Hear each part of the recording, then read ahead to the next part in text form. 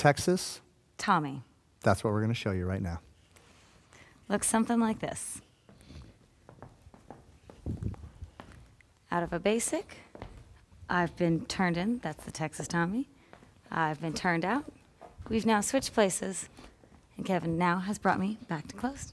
So it's obviously a little bit more complicated of a move. It requires that you've learned several of the previous moves to, get, to be ready for it. Yes, so specifically, the Texas Tommy is starting in a cross hand position. So we have a right handshake And then from here, Kevin brings me in. forward, and now I relax my arm, and we have a dynamic frame. Our fingers are active, but our arms are relaxed, and I'm asking Jo to break frame So from here, my arm rolls behind my back. because she let me. There's a big difference between forcing somebody to do something and then suggesting. So the handhold, if we were to maintain connection, looks like this. So it's just brought up behind my back, and I've actually pushed into my own body. So the weight's not pulling up across, but it's actually pushing down, uh, preferably low, if that's more comfortable. Leaders, I'm thinking about pushing into Jo and connecting that way rather than doing any weird, awkward pulls. This is a really potentially uncomfortable, And arresting position for your position. follow.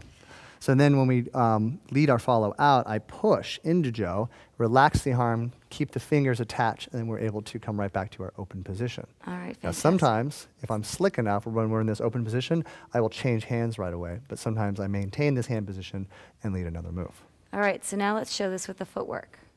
So, from once you get to this cross hand position, if you did a send out, on the end of the send out, I could just change into my right hand. Or on the end of the send out, I could lead a pass by, and on the end of the pass by, I can change hands. So at one point or the other, leader, you just need to change hands. It's slicker if you do it with the pass by. No one really sees that coming. Fair enough. So now from here, leaders, I'm going to lead that rock step, which is going to be rotational, of course, because that prepares Jo to turn. Rotate, step, step, and I get Jo into that Apache Texas Tommy position, which happens quite quickly. So if you see it from this angle, from the rotational rock step, rock step, there it is. Do you see how I went down?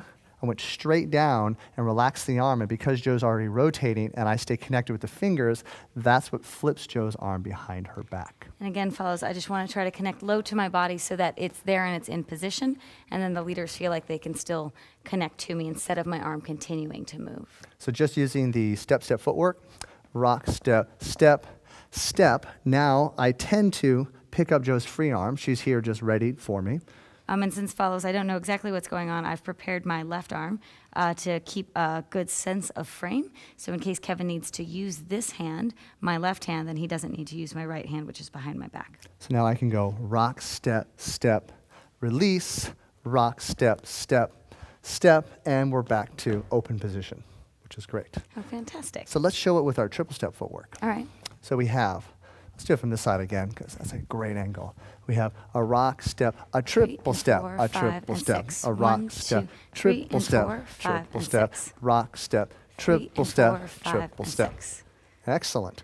So right. again, make sure that you're working on your rotational energy on this, uh, leaders, with your rock step. That's mostly where the rotation is going to come from. And then from there, follows just kind of follow your arm and try to stay balanced.